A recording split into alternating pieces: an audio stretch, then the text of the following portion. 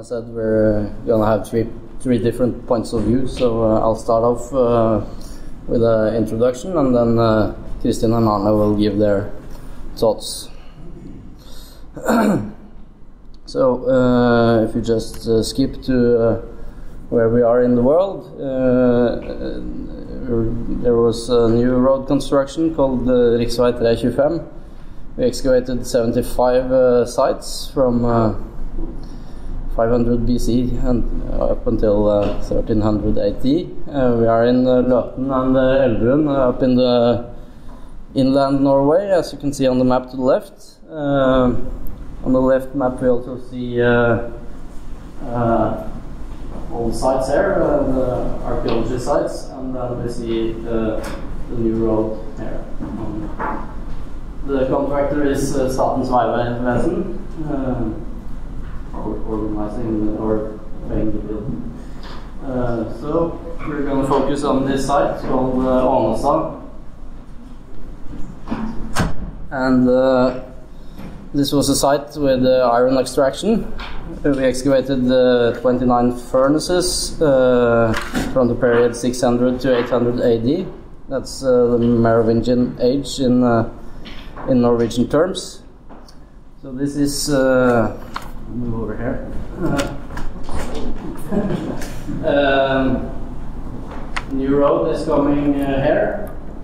So there were registered uh, five sites, sites on this side of the road, two sites up here, and uh, the sites uh, we're gonna uh, dig more thoroughly were this one and that one, in addition to those two which were single furnaces. Uh, you can see uh, a furnace from both sides here, quite bad preservation on the right side here, only like 10, 20 centimeters left of the structures. Uh, a little better preservative uh, conditions on uh, on the left side of this road. Uh, you can see uh, the this is uh, something like 40 or 50 centimeters. the bottom of the furnace in situ, top of course being plowed away from uh, agricultural use of the sites in recent years. We also had uh, slags all over the place. You can see a piece of slag here, and uh, uh, as we'll come into this disturbed uh, situation a bit for us when excavating. Uh, Hedmark fylkeskommune had surveyed the area. Uh, trenches going uh, in this direction.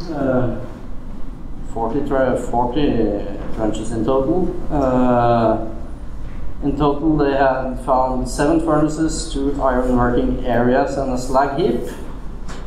Uh, the uh, county archaeologists conducted five 14, C14 datings, all in the time frame within 600 to 900 AD, uh, with only one being from the late part of the period. So we're, uh, we're probably early in the Merovingian age. Um, yeah. A little bit background. Uh, iron extraction uh, in the period uh, 600 to 800 is uh, quite uh, little known, as we can see here. These are uh, example of Norwegian furnaces from the from the period. See, can't read uh, in the Roman age here, uh, about uh, the birth of Christ and up until 600. Uh, it's these uh, uh, shaft furnaces with slag pits. And then technology changes in the Viking Age and up until the medieval times, where we have the, the side tapping, where the slag, slag comes out in a bit on the side and we don't really know what happens technology-wise in the period in between. So uh, uh, this was uh, one of the main things to find out in the project. You can see the same thing here in uh, about Danish uh, furnaces. Furnaces. We have the slag pits, and then the, a period where we know nothing uh, until we come back to the side tapping. I also uh, included the rise of the Åker complex, uh, because this is uh, the area where we excavate uh, is very close to uh, the site of Åker, a very famous site in Norway from the Merovingian time. Uh, it's, uh, as you can see, very nice collection of finds uh, in close proximity to the site we, uh, site we excavated. Uh, you can see uh, see all of this in our ex exhibition at the museum. this is associated with wealthy aristocracy, as you can see, Scandinavian continental leadership from the time, with the closest parallels in Vendel and Valsgärde, as you probably know, and also Sutton in Suffolk. Uh,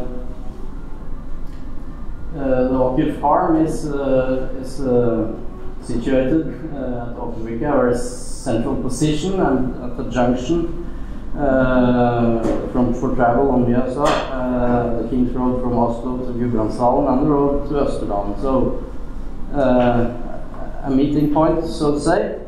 And when we started, we, we thought maybe uh, the iron extraction can relate to the expansion of Åker did farmers deliver iron uh, at Åker, where it was shipped away for further trade on an international to a uh, more international audience. And uh, we also know that uh, iron trade became an industry in the late, late Viking Age. Uh, so did early Iron Age production form the basis of the wealth at Åker? That was one of the questions we asked before we started.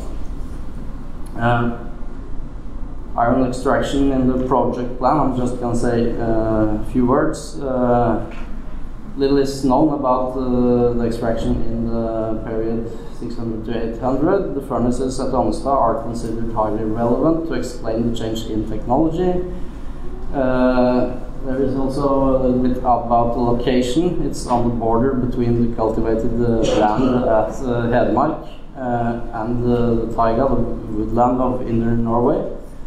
And uh, we also have uh, possible closeness to the farm as opposed to uh, medieval uh, iron extraction, which is uh, mainly away from the farm. So there is really no comparative uh, material from beforehand, so both the technology of the period and several sites and structures are not well known in Norway. And on this background, we made an introductory mapping uh, of topsoil magnetic uh, susceptibility and gradiometer, a non-destructive uh, method to quickly map and delineate sites. Uh, method was also used uh, with success at uh, Gråfjell, quite uh, close by to the northeast, and, and we have many examples from arable land and also famous sites like the Snorup site in Denmark. Uh, the idea behind using geophysics was to further map furnaces that were not found when, uh, when the, the, the fylkeskommune uh, digging trenches. In addition, we aim to find other elements of production that were not picked up when surveying uh, with normal trenching, like iron ore, charcoal layers, roasting places like heaps, iron working areas, uh, in addition to traces of settlement. So this was what we hoped for, and uh, now the others are gonna tell you what we got. All right. Uh, so uh, I did geophysics, and uh, basically we did topsoil uh, magnetic susceptibility uh, in hope that we could, could, be able to try and delineate the activity areas maybe also trace roasting sites. Uh, the areas that they were excavating was this one and that one, and the topsoil makes us kind of picks up something along the road. We also pick up probably some pollution from the road itself, as you see, it goes along there. Also, uh, area here with with quite high readings. I think the average was about six to seven meters between each reading. And uh, we also have some other areas highlighted. This turns out to be kind of a refuse pit, and some farmer go down, don't know, a tractor or something. So that can happen. Uh, and this wasn't excavated, it wasn't test trenched, but it also gives quite a high reading and there's some, some uh, magnetic anomalies in, the gradiometer data as well. Uh, and we consider uh, topsoil analysis were very well on, on outfield sites in the forest where it hasn't been plowed uh, and also we kind of got an indication of the delineation of the activity sites. So these, uh, I think it was like seven hectares or something of topsoil MS, and then we did about five of phosphate grading data. Uh, yeah, I'll just move on to this with the two sites. So I, based on, yeah, it was of the test spreads we, we were there, so based on a comparison of where we knew they found furnaces, we can at least have some form of target that we can use to, to learn to better interpret the data. So I use that and, and categorize them as uh, archaeology, potential archaeology, and some other categories that I described in the report, such as trends and, and linear features. So this is the area that was uh, delineated based on the test structures as you see on there. In there, there's quite a few quite pronounced anomalies, and so several of them was interpreted as, as furnaces. This is a typical example. Each, of these lines are two nanotesla lines. I think that furnace was at least over 100 nanotesla in strength, uh, and you can also characterize it by its size, by, by the, the visual appearance, the geophysical properties, uh, and so on. I'll come back to that later. Another thing I did was to, uh, based on the background variation of, and the statistical variation of the whole data set, I, I defined a threshold. And uh, I uh, extracted every anomaly over a certain size and over a certain threshold. And then I did a kernel density mapping of all the anomalies over a certain size and strength. So although maybe not all of these and all these might be uh, archaeologically relevant, and but maybe the distribution of them could tell you something. And as you see, you got a kind of a highlight in the area where they were the excavating. Also, this picture. You also have some other areas. There is a road going that way, and there has been a road going over that way as well. So, so it creates some confidence. I think it's over to Kirsten to tell us a bit, little bit about the excavation results, and then I'll move back to the analysis afterwards. Uh, I just want to start with uh, what, uh, telling you how the sites and the furnaces look like. This is on the east side, and you can see this is what the furnaces that the county found. And they were very thin, they were plowed away. So this is the deepest one that we had at this site. So, but most of them were like this. And the top supply was between 10 and 20 centimeters. So we got all of this data from Arne, and uh, I was sat there like, wow, this is a lot. Uh, what am I supposed to do? Uh, so this is the area that the county uh, set us the localities that where we're supposed to dig. So we use only the interpreted data. This is the interpretation that Arne made. So you can see, like the yellow one is the trend. So and all the furnaces and all the archaeological. So what we did, we started the excavation by opening up this area as a normal excavation and found the furnaces that we were supposed to find and find more. And then we realized, oh, there is a road here and some pits, and they're not in the data set that we got from Arne. Because these uh, furnaces are the furnaces down here and the road are not there. And then we started, okay, let's find the furnaces that's outside our excavations area. Because this, we were supposed to excavate here and here. Then we started, uh, we put all of the furnaces and possible furnaces and some possible archaeology in a GPS and we went out with the excavator. And then we dug all, all of these test trenches. So these was possible furnaces. And what we found was it was four stones, three stones on this side, nothing in this, and uh, clay here. So it was a bit of a disappointment for us on this side. And also the small, the one there, that's interpreted as a furnace in the data set, but it's a stone. So on the west side of the road, the situation is a bit different. The furnaces looks like this, in plan, quite hard to see, and they're all leaning towards one side. So these are one of the smallest ones, and these are one of the biggest ones. So this is the top, and then it's been leaning all the way from the bottom here. And it, the underground is completely different as well. I mean, the topsoil is uh, much thicker. So this was the area that the county registered with the data we got from uh. And then you can see some possible furnaces lying outside here that we wanted to see if there were furnaces. So we started up doing the test just before we uh, opened up the area. And we dug four test pits, and none of them were furnaces. There were two stones and nothing in the rest of them. And this big thing is a stone fence. And in the interpreted data that we got from Arne, uh, stone weren't in the data. So we were quite surprised when we opened up the, the big side here and we saw all these stones. Here you can see it. It's this stone fence. So for us, the why isn't this in the data that we got from Arne, where we're finding all of these stones that were supposed to be furnaces, but he hasn't found this one. And that could be something to do with how we see the data that we got from Arne, and he'll come back to it later on now. um, well, um, I have a different point of view on this.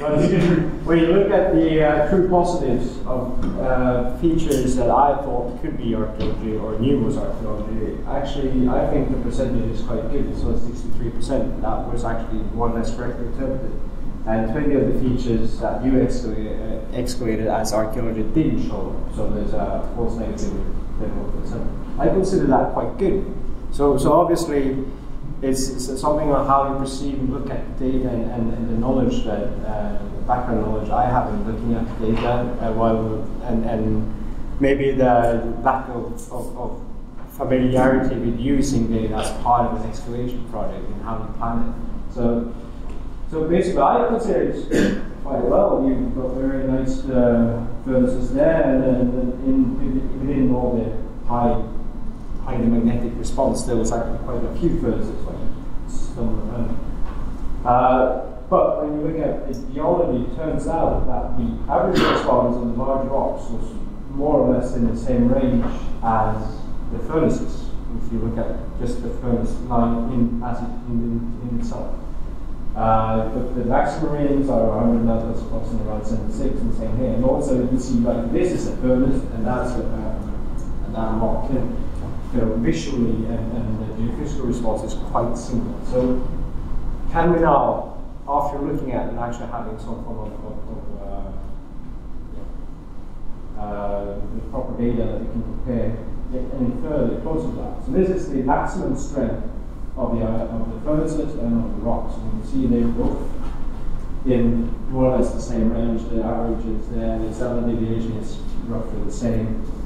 But when you look at the size of them, you can see that the furnaces, and now the largest one that turned out to be a furnace is roughly around three meters. But when you look at the geophysical, that's the geophysical response time. When you look at the, the size of the them that turned out to be rocks, they're actually usually larger than three meters across.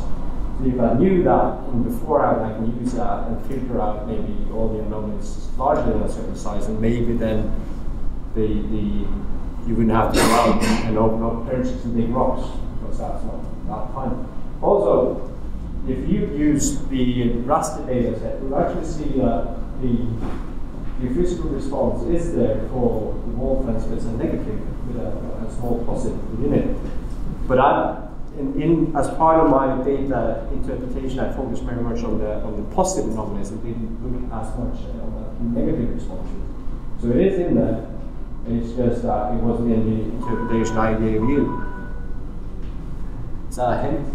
Uh, yeah. All right, and also these ones we haven't really figured out why we get a geophysical response and you didn't find anything. It could be that it's either something in the topsoil that got removed, or it's something where you, we basically could look at geophysical response and try and, and calculate that uh, based on the response. Maybe that can explain it. Um, so we're going to just wrap it up. Uh, so we have each, we have three slides now my, my um, experience on it all and, and the site director and the project manager's experience of, of working with this data. I consider these results actually quite good. And also in the eastern part of the wall, I found eight out of nine furnaces.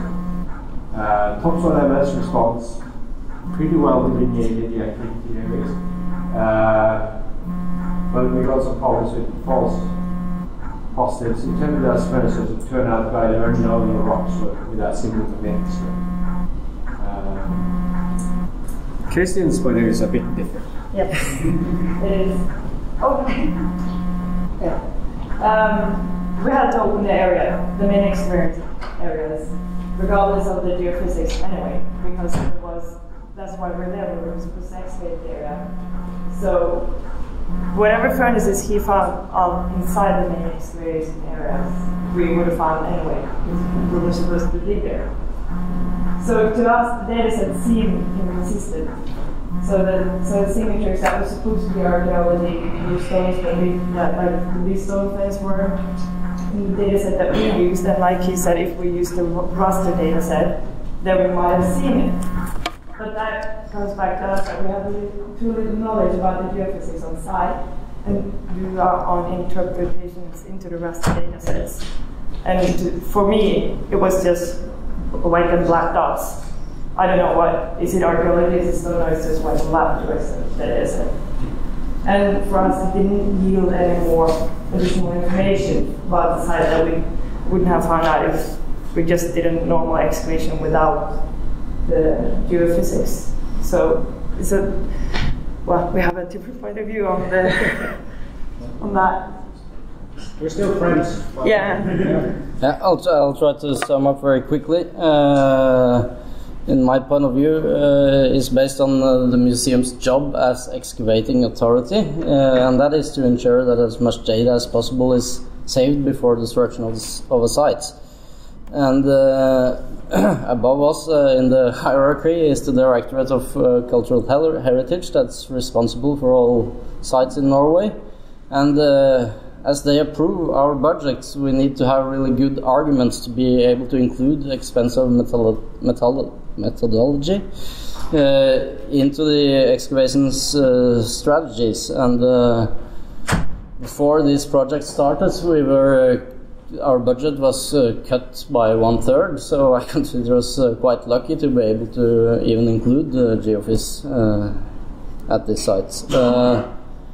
In the particular case, uh, ge geophysics didn't yield much more in addition to the surveying uh, of the county archaeologists, and uh, as the geophysics didn't pick up any additional features that we uh, that that we had planned for, or or at least hoped for in the project plan. That's that's like your roasting places and work areas and things like that. Um, that might uh, have to uh, have to do about the site being so plowed over, of course, but uh, in retrospect, I don't know.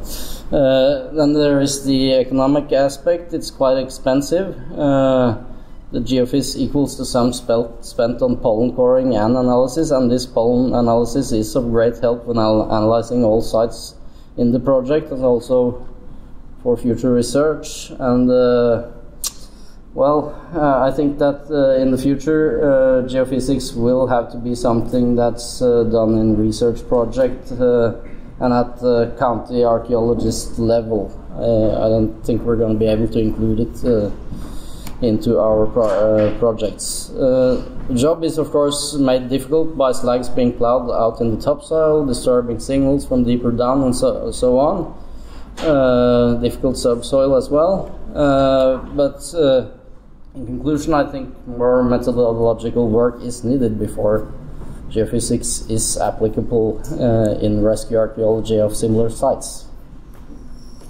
Thank you. Thank you.